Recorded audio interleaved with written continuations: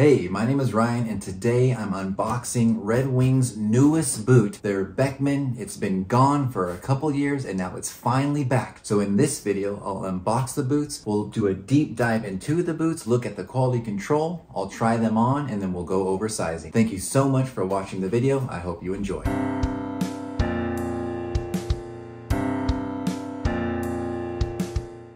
There is a ton of really cool history about the Beckman boot and I'm not going to go into it right now. There's other YouTube videos that go into the history, uh, when what it's named after, when it first came out, when it went away, uh, the different styles it's been throughout um, the years.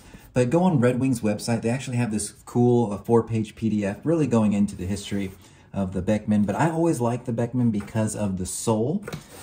And now they finally have it. So I've looked online for the Beckman on like eBay, uh, but it's a little bit different from what you get with their new one. And so I thought I'd pick up my pair. So this is cool. I've never had a pair of new Red Wings with dust bags.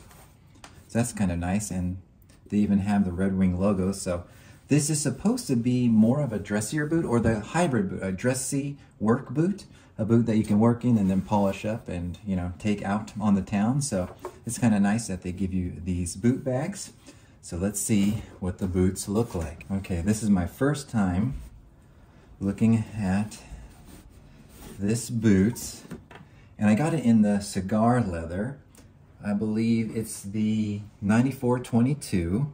And here is the boot. Looks really nice. What I really liked about the Beckman when I kind of fell in love with the Iron Ranger, and I fell in love with boots after it was discontinued, but I love this half sole here. I love where you can see the leather sole and then the rubber half sole. They have this really cool cord retro inspired soles. And then we have the boots. It's a gusseted boots. Nice laces. 9422. And I was worried because I have seen on eBay there was some boots that were like maybe they were tester boots, Beckman boots that were sent out to be worn but before they went into production, maybe pre-production. And a couple have popped up on eBay, and inside they have, oh, got some more laces. Well, that's not what I'm talking about. But inside they had a pour-on footbed. So it was kind of had me worried about what the footbed of the Beckman was. Was it like a Red Wing Iron Ranger where it's a thick veg tan insole?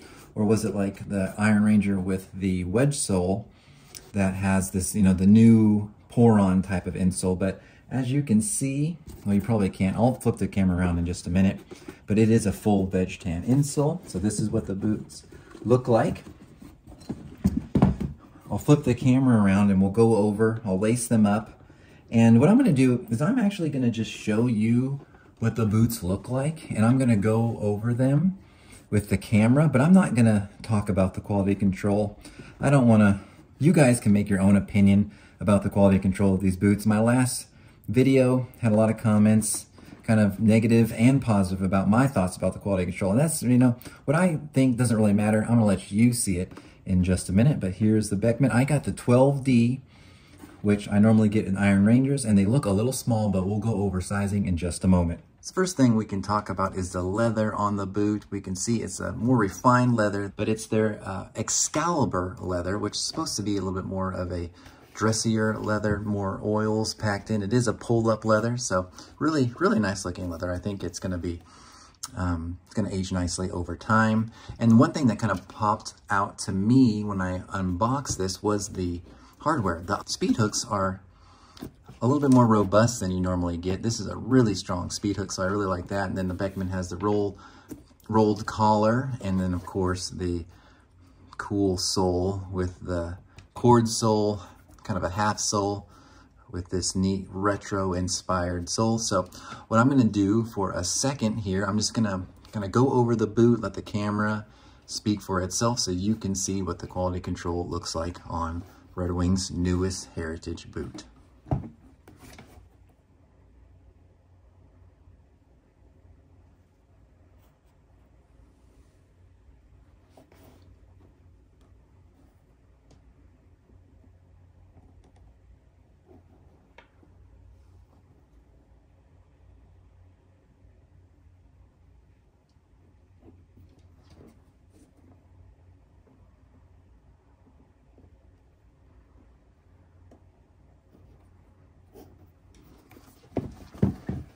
I told you I wasn't going to give you my opinion, but I actually am going to give you my opinion because I think it's pretty good. You know, it's it's not perfect. The Red Wing isn't supposed to be the most refined boot in the world, uh, but for a handcrafted boot here in the U.S., I think it's good. I, I like it.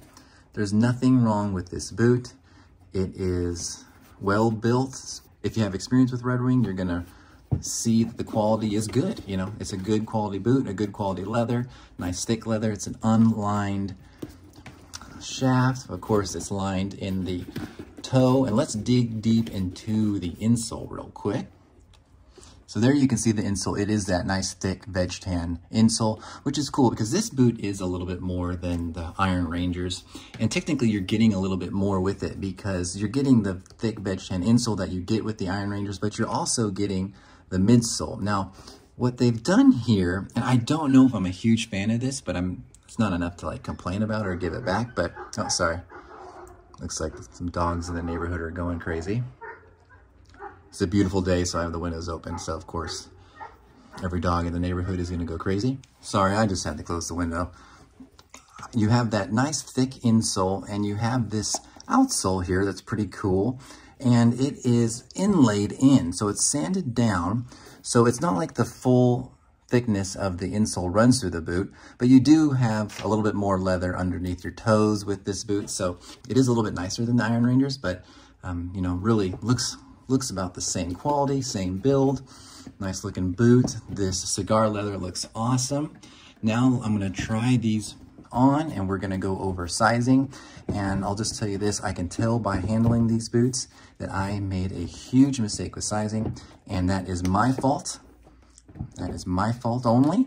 Red Wing should not be faulted for this because they plainly stated go true to size and I got my Red Wing size. I can already tell these are a little bit too small. So let's just see what happens. I'll put these on and we'll see how they fit. So these boots are not built on Red Wing's number eight last like their Iron Rangers, but they're actually built on the 224 last, which I believe is a newer last.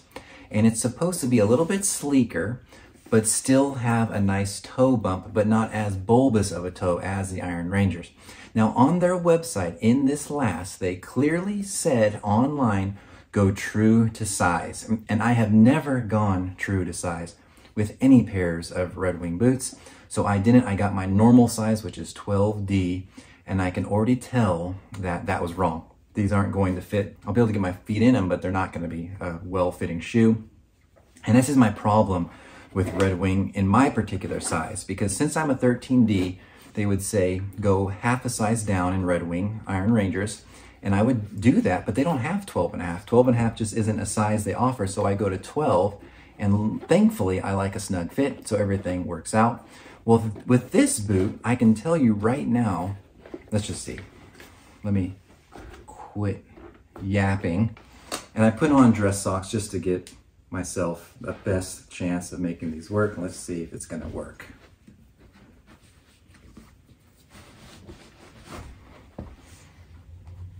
So this is my smaller foot, my left foot, and with dress socks, it works.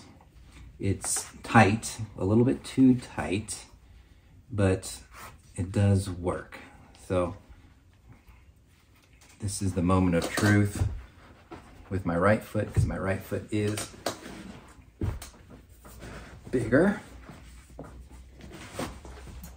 You know, it, they fit. So this is this is my hardship with this boot. Like with my dress sock, they fit. They say true to size. So that would be 13D for me, or just 13 with Iron Rangers or with the Beckman. But 13 would be too big. What I really need in this boot, what I believe is a 12 and a half and they just don't make a 12 and a half. They make a lot of half sizes, but when they get up to 12, they stop there. But if I wear these with dress socks like this, then I can make them work. Sorry, you got, here are my house shoes. That's embarrassing. Let's get those out of there. Okay.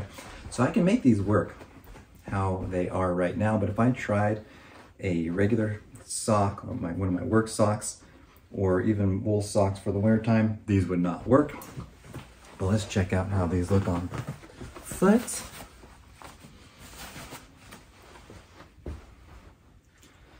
I mean, they look great. They look great. They feel great with these dress socks on. They're just a really nice looking shoe. Yeah, it's a lot sleeker than the Iron Rangers. It's not quite like the Weekender boot where there's a lot less volume in the toe, uh, but it's just like a little bit, makes it a little bit dressier, but I still think you could uh, wear this on a job site. So I think overall, it's a gorgeous boot. The quality control is awesome. Now this is an expensive boot, so this boot costs $400. So that might be Red Wing's most expensive boot to date. And after tax, you're looking at 420. But what you're getting, you're getting a, you know, handmade boot or a, a boot made in America, I should say.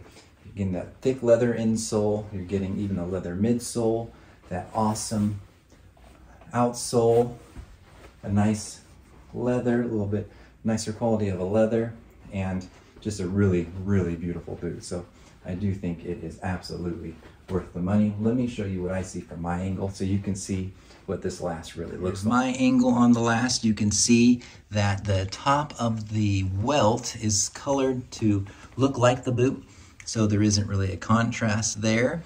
That gives it a little bit of a dressier look, especially from the top down. And then of course, with the eyelets and speed hooks, they are more color matched to the leather. So again, that gives you just a little bit more of a formal look. Really pretty boot. I, um, I'm really having to figure out what I'm gonna do here because I'm not gonna go to a 13. I'm just, I'm not gonna buy a, a 13 and have a boot that's just too big most of the time. But this 12 is a little bit, a little bit snug. So what I would say is go true to size. That's probably your best bet. Don't get your Iron Ranger size. Go a half size up from your Iron Ranger size. That's my expert sizing advice for the Beckman. It is a sleeker last. Hey, my house shoes showed up again. Sorry. It is a sleeker last, so you're not going to be able to just get the same thing you got with your Iron Rangers. But other than that, it's a gorgeous boot. Highly recommended. Do think it's worth the money. Just check it out, and you won't be disappointed. Uh, I really appreciate you watching this video. Thank you so much. Please like and subscribe if you found it at all entertaining, and hopefully I'll see you on the next one.